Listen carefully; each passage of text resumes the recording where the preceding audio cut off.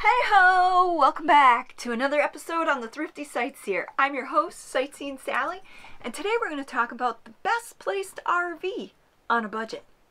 Hold it, hold it, hold it. Before we go any further, if this is your first time here, make sure you smash that subscribe button and hit the little bell notification so you don't miss out on any future vids. Continuing on. Before we get into that, I have a question for you. When you go to look out your RV window, would you like to see this? Or would you like to see this?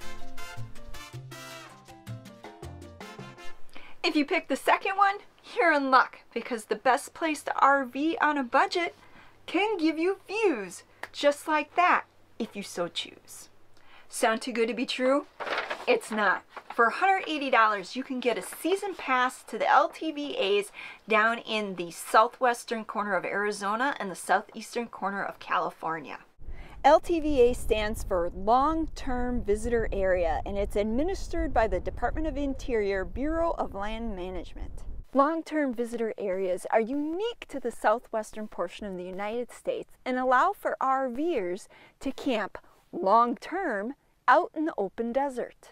LTVAs didn't always exist. It wasn't until RV boondocking, which is what you do when you're camping out in the open desert, became a popular pastime for retirees, especially those coming from northern climates. In the early 80s, the BLM recognized a need to establish long term areas to help prevent further damage to the desert landscape.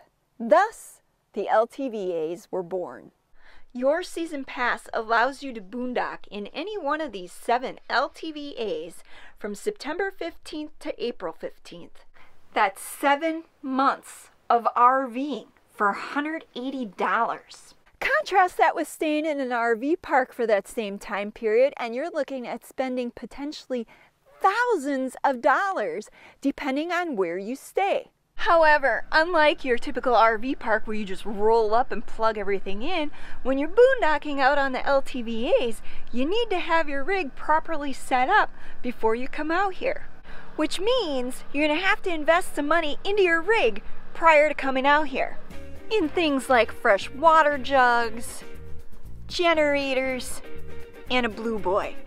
Not to mention money in a solar system setup.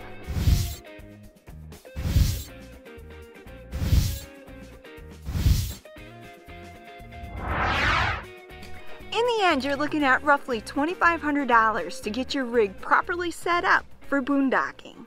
When you factor in the cost of staying in an RV park for that time period versus going out and purchasing all the equipment and getting your rig set up and then purchasing the pass, in the end, by the sixth month, you'll have already started putting money back into your pocket because you won't be spending $500 a month at an RV park.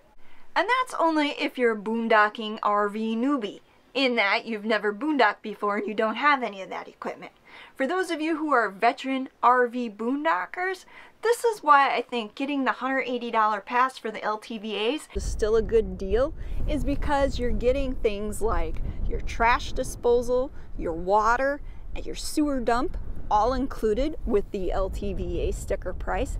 Not to mention, if you're short terming it, if you're boondocking only short term stays, you have to factor in things like your fuel costs, your fuel economy. How much money are you spending in gas or diesel fuel every time you have to move? Because remember, if you're doing the short term boondocking, you're subject to 14 day stay limits in a 28 day period unless otherwise posted. And once you hit that 14 days, you have to move outside that area at least 25 miles.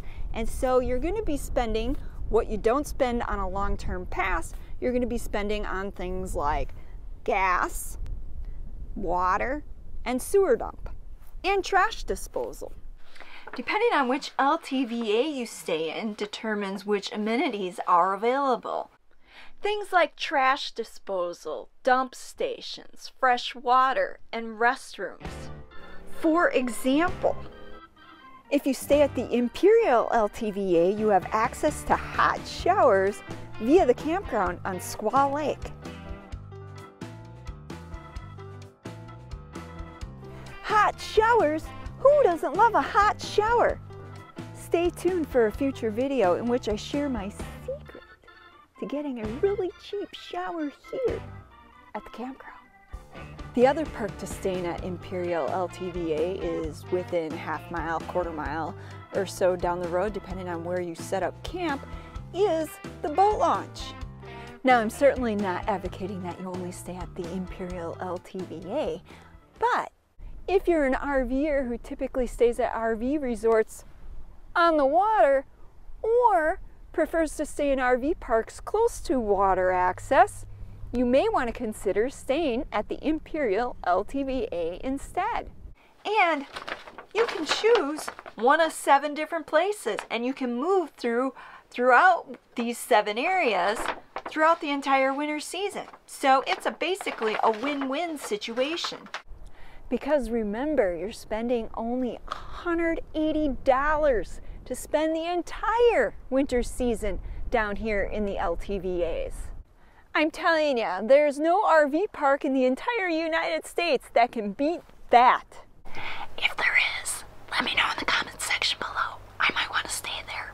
What it boils down to is this. If you're an RVer who likes to stay in one spot for the entire winter, the $180 is a fantastic deal. If you're an RVer who likes to move around, I still think the $180 is a great deal when you take into consideration the fact that the LTVA sticker gives you access to seven different LTVAs, your water, your sewer dump, and your trash disposal. I know there's a lot of free boondocking sites out there and a lot of great national parks and a lot of places where you can RV.